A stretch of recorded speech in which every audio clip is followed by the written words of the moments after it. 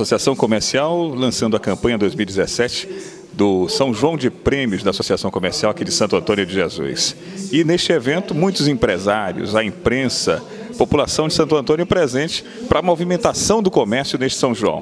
Vamos às matérias. Amigos internautas, conversar com o Genival Deolino, presidente da Associação Comercial aqui de Santo Antônio de Jesus. Presidente, que alegria poder falar contigo, presidente. Online, ao vivo, para todo o povo desse momento de Santo Antônio, da região do Recôncavo e também demais cidades do mundo aqui que sempre acessam a gente. Gente da Filadélfia, dos Estados Unidos, da Austrália. É muita gente que acessa aqui o Voz da Bahia.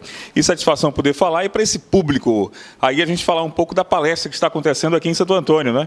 Que palestra é essa? E para que serve essa palestra com os empresários aqui de Santo Antônio de Jesus? Nosso boa tarde. Boa tarde, Marcos. É um prazer estar aqui falando com você.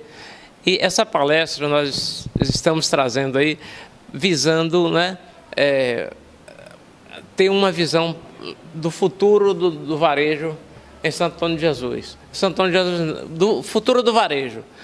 Esse Alberto Serrentino, ele é um professor da Fundação Getúlio Vargas, tem mais de 300 artigos publicados e vem fazendo um turnê em várias é, sedes da, da, da, das associações comerciais e clube dos diretores lojistas. Na realidade, é, um, é um, a federação que está trazendo para é, as, os clubes diretores lojistas. Então, é um convênio, como nós aqui estamos né, unidos, né, as três entidades, Associação Comercial, Clube de Diretores Lojistas e Sindicato, então tivemos o prazer de trazer aqui essa grandiosa palestra para os nossos empresários e colaboradores. Né? Com certeza será uma grande palestra, porque nós estamos, né, vamos ter uma visão do futuro. Temos, mas vamos ter melhor com a, a, a indicação do nosso professor Sargentino, que ele vem estudando muito a matéria, então é uma preparação do nosso empresariado e colaboradores para o futuro do varejo é, que se aproxima aí. Pois é, eu estou vendo aqui, não é, no, aqui no currículo de Alberto Serrentino, que ele também já realizou mais de 300 apresentações no Brasil e no exterior, não é isso?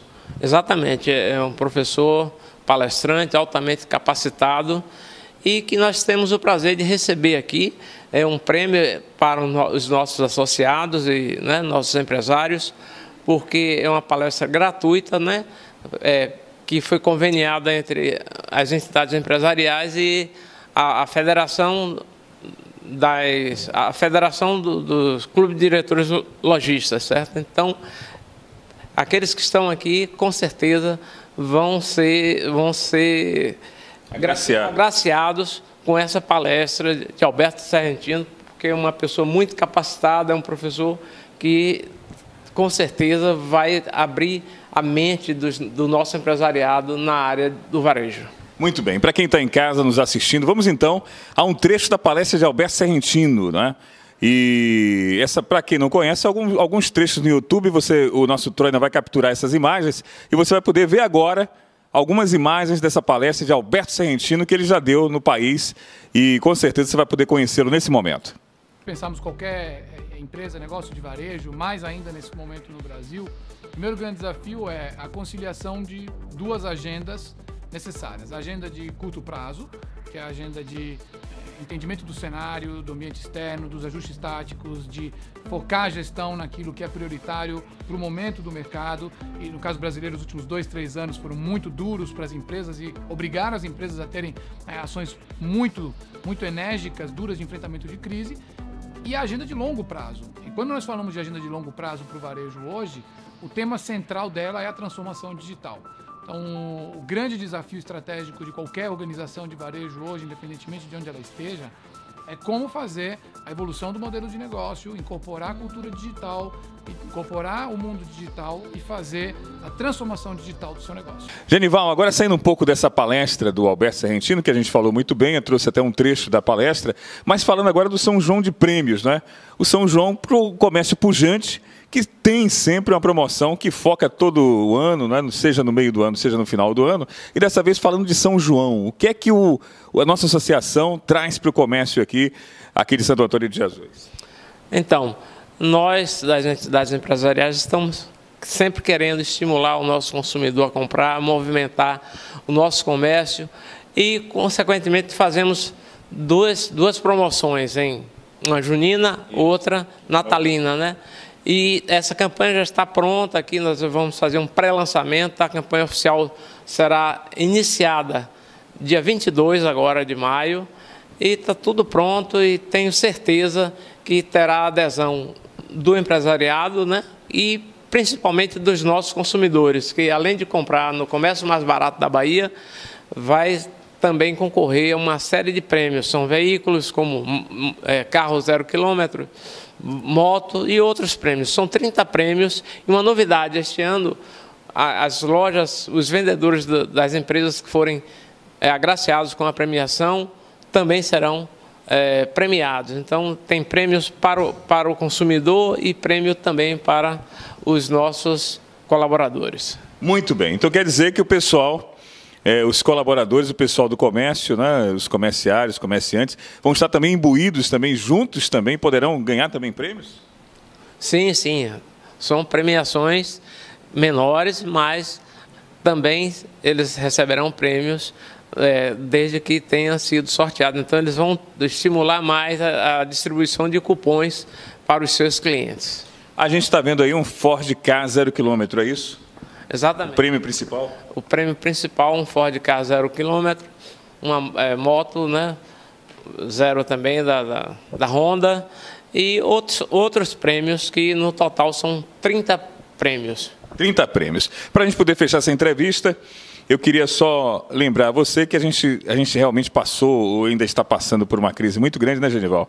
A gente sabe de, do resultado de algumas empresas que não têm sido, às vezes, muito agradáveis e que preocupa bastante, mas, de certa forma, eu acredito que é um momento que aquece o comércio, a participação de todos é muito importante. Eu acho que o São João vem prometendo aí, vai vir um São João muito forte que a gente sabe desse, desses problemas que as empresas têm enfrentado. Eu acredito que seja também mais um alavancador de ajudas, né?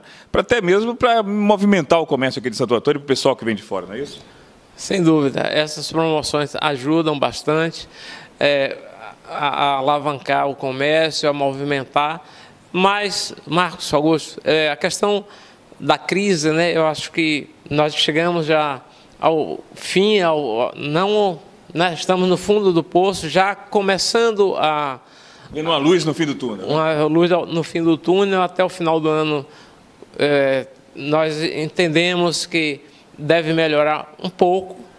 Piorar, com certeza, não vai piorar, porque nós já, já estamos vendo aí é, a inflação reduzindo, algumas, algumas, é, alguns setores já melhorando, crescendo, respirando. respirando e com certeza, 2018 será um ano diferente. Então, a partir de 2018, nós teremos um crescimento substancial, é a esperança nossa, desde que sejam feitas todas as reformas que estão sendo é, propostas aí. Eu tenho certeza que essas reformas serão complementadas, realizadas e para que a gente volte a crescer, criar empregos e melhorar toda, toda a economia da nossa, do nosso país.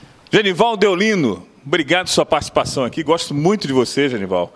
Sabe, sua simplicidade de ser. Para quem não sabe, aqui é um, um amigo e que é uma pessoa simples, respeitosa e uma pessoa que eu admiro muito. Tenho uma admiração muito grande por você, pela sua pessoa, pela sua família.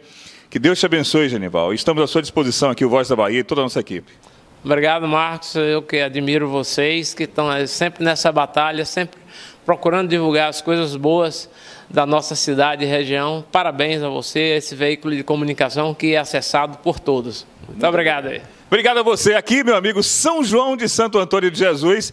E lembrando que hoje à noite teremos um grande encontro com o prefeito Rogério Andrade e toda a sua equipe, onde Maxilândio vai estar aí também nessa cobertura do São João de Santo Antônio. Vamos voltar aí ao, aos nossos estúdios, trazendo mais informações para você depois do nosso intervalo comercial. Solta o intervalo aí, Troina.